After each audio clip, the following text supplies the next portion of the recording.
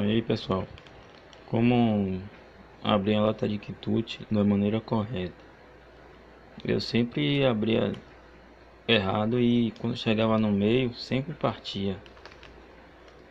Eu vinha enrolando, enrolando, enrolando, quando chegava no meio, partia. Aí eu tinha que usar uma faca com, uma, com um martelo ou um, um machucador, um tempero para abrir.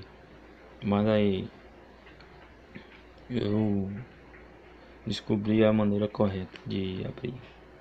Vocês não vão enrolar daqui, porque ela geralmente vem assim. Geralmente não, sempre vem assim. Desse formato. Mas vocês têm que tirar a chavinha e virar de cabeça para baixo. Encaixar novamente. E, e daí vocês começam a enrolar, enrolar, enrolar, enrolar. Nunca que vai partir porque ela vai estar tá rodando aqui por cima. E essa é a maneira correta de abrir a lata de quitute. Aí, obrigado.